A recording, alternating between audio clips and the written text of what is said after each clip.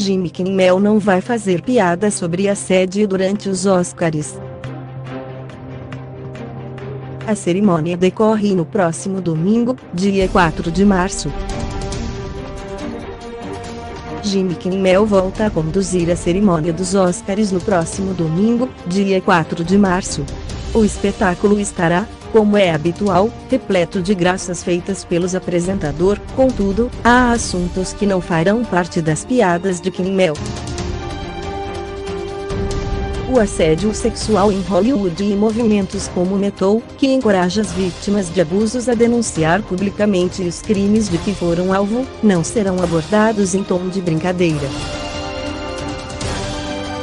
Esta apresentação não será sobre reviver o assédio das pessoas. A última coisa que eu quero é arruinar alguém por isso, afirmou Jimmy Kimmel em entrevista para a apresentadora Paula Faris do canal ABC.